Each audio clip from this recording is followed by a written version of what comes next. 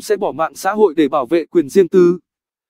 Những lo ngại xung quanh việc dò dỉ dữ liệu đã khiến người dùng lo lắng hơn trong cách thức sử dụng thông tin cá nhân khi online. Báo cáo, người dùng có tự bán khống quyền riêng tư của họ khi trực tuyến, của hãng bảo mật Kaspersky vừa công bố cho biết, 38% người dùng sẵn sàng từ bỏ mạng xã hội để bảo vệ quyền riêng tư của họ trên Internet. Báo cáo đã chỉ ra vì sao thông tin cá nhân dần trở nên vô cùng quý giá đối với người dùng, nhất là trong thời đại Internet đang bùng nổ như hiện nay.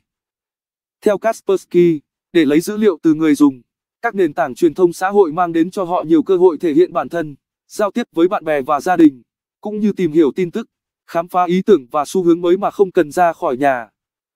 Báo cáo của hãng bảo mật này cho biết, dù được hưởng nhiều lợi ích như vậy nhưng một số người dùng vẫn muốn từ bỏ mạng xã hội nếu việc này giúp họ bảo vệ quyền riêng tư khi trực tuyến. Điều đó có nghĩa là 12% người dùng sẽ không thể tiếp tục tham gia những trò chơi giải trí như bạn trông giống người nổi tiếng nào, hoặc bữa ăn yêu thích của bạn là gì, vì họ phải cung cấp thông tin cá nhân nếu muốn biết câu trả lời.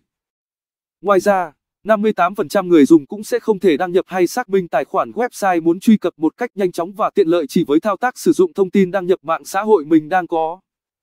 Đáng chú ý, số người sử dụng điện thoại di động tăng 2% so với năm 2018. 19% người dùng sẵn sàng chào tạm biệt với thiết bị cầm tay để dữ liệu riêng tư của họ được bảo mật.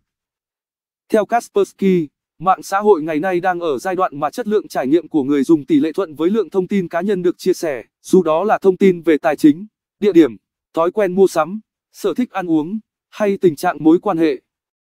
Do đó, trong tương lai, có lẽ cảm giác hụt hẫng khi sự riêng tư mãi mãi biến mất sẽ không còn xa lạ đối với người dùng. Tuy nhiên, giải pháp biến mất hoàn toàn trên mạng xã hội vẫn chưa đủ để bảo vệ quyền riêng tư khi trực tuyến, vì việc này là cả một quá trình, chứ không thể được giải quyết chỉ sau thời gian ngắn.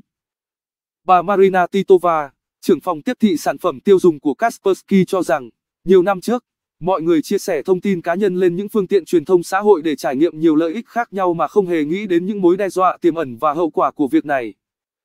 Với số vụ dò dỉ dữ liệu ngày càng tăng nhanh trên thế giới, chúng ta đang chứng kiến một xu hướng mới của người tiêu dùng. Nhiều người dùng không muốn những thông tin cá nhân được tiết lộ, và họ đang cẩn trọng hơn khi chia sẻ thông tin của họ trên mạng xã hội. Theo bà Marina Titova,